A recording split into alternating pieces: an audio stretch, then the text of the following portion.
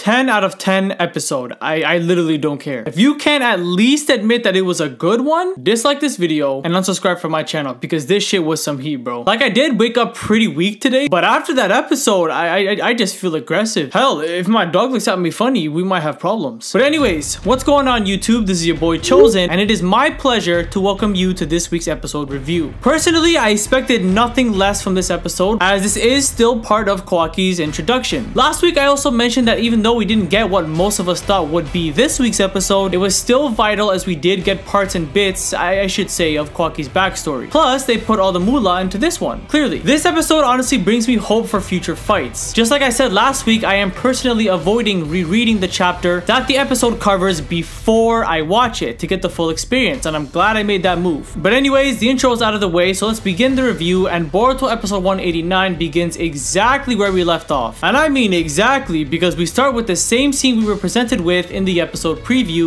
last week. Eventually we do get to the ending of the actual episode where Kawaki and Garo are about to face off, and after that is just pure greatness. Right before the battle begins though, we are taken to Koji and Delta who observe what's going on. Delta asks Koji what he's trying to do about the Leaf Shinobi as they clearly intend to take Kawaki back to the village. But Koji just tells her since she's here, they can figure something out together. But hey, Delta looking like a whole snack, I won't even lie. Yeah, that brother's starving.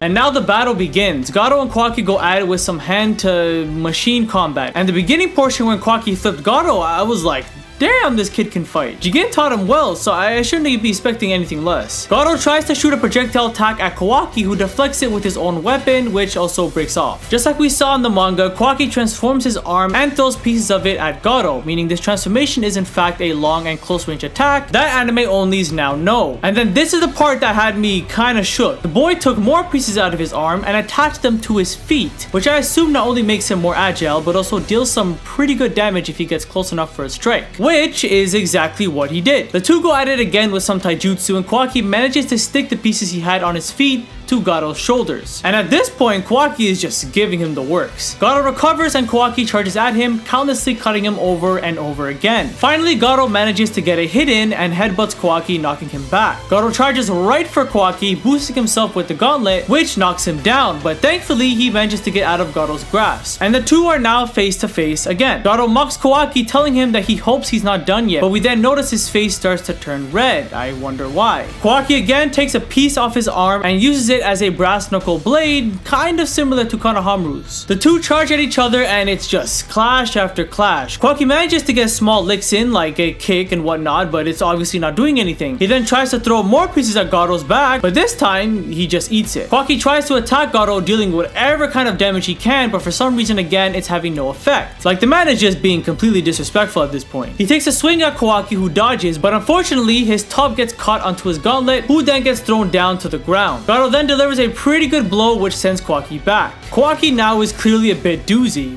probably still weak from his previous battle with the machines I assume. And because of this, he was just barely able to block Garo's projectile attack, which still even then knocks him down. Garo at this point is just being an asshole. He waits for Kawaki to get up just to suplex the kid who then throws him in the air. As Kawaki starts to wake, he grabs a small piece of his arm in last defense, and as he is falling, Garo intended to impale Kawaki but was stopped with that small piece. Kawaki recovers and tries to impale Garo with his own made blade. It was pretty confusing to see what happened here at first, I, I couldn't tell if Kawaki was just exhausted or if the blade didn't work. But based off of Garo mocking him a few times for being weaker than usual, I'm gonna go with him just not having enough energy to pierce through. Garo then pins Kawaki to the ground and picks him up, but we then notice that Garo's face has turned back to normal. If I'm not mistaken, I believe when he turns red, that puts him in a state of stronger durability. That or he's just batshit crazy. Boruto runs over to try and help Kawaki, but is then stopped by Konohamaru, who I, I, I just gotta say, is it just me or does he look very similar to his style in the manga. Probably what they were going for. He tells Boruto that they must not pursue the threat as this is an S-rank mission and if Boruto attacks Garo, he most likely won't be able to save him, letting down Naruto once again after they almost died to Deepa. We are then put back with Koji and Delta as she grows a bit furiated with Garo telling him to be gentle and to be honest, I didn't remember Garo being this strong or even coming close to beating Kawaki. But then again, it has been a couple years since I've read this part in the manga. Obviously the anime was going to extend this fight, do not get me wrong, but I mean if I had to choose between him him or Ao, at this point it's clear who I choose. When he said Ao makes outers like him weak, he was not kidding. Garo then decides to break his limbs so that when he wakes, he won't go on the attack. Kind of reminds me of Kisame versus B when he tried to take out B's legs. And now comes the most badass part in the whole episode. Kawaki's trump card. As we see, his Karma Seal starts to glow rapidly until it stays a glowing red color. But this not only affects Kawaki, but Boruto as well, as his Karma Seal starts to not only hurt,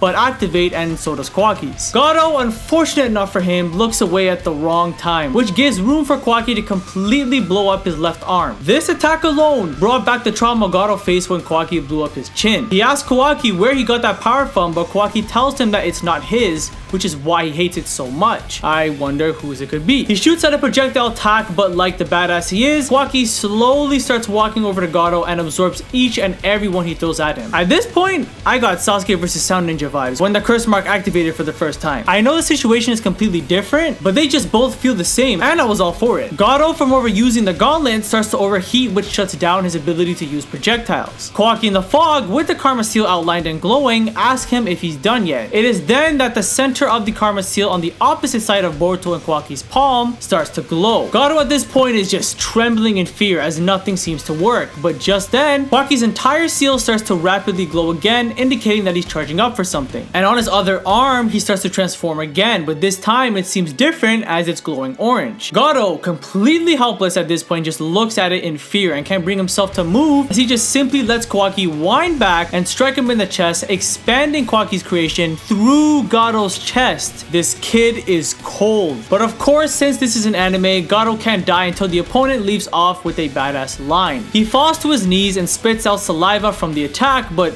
honestly, I'm wondering why it wasn't blood. Kawaki puts his hands on Garo's face and brags that he warned him he'd lose more than his chin this time. And then Garo begins to beg for mercy. He starts breathing out uncontrollably and begins to start crying. Just, just for Kawaki to breathe it all in and tell him that his breath stinks like a pig and blows up the entire area. But of course, not Koji and Delta as that huge explosion didn't even phase them. I mean, let's see how unfazed they are when they get into their big fight, am I right? Now with the show being called Boruto, of course we knew nothing was going to happen to them as Boruto unconsciously uses the Karma Seal to absorb the effect of the blast which saves the entire team. Kawaki was really to blow everyone up. After everything starts to become a bit more clear, half, yes half of Garo's body just got sent flying in. And in the middle of it all is of course Kawaki himself. I'm telling you guys, Sasuke vibes. Kawaki then calls out Boruto for lying about the Karma Seal since he clearly knew how to use use it. Boruto tells him that he doesn't and just wants to know what's going on. Kawaki tells Boruto to return to the leaf and that if they continue to go after him, he'll kill them too. Koji then notices that the Karma Seals resonate with each other. When one awakens, the other is sure to follow. Kawaki's body, just like Deepa, starts to emit steam implying that he's overheating. A great detail that I'm happy they included with Deepa as it helps the anime onlys now understand why this is happening to him, which gets confirmed in just a bit. But before that, Delta asks Koji if she can now eliminate the Leaf Shinobi, but Koji Koji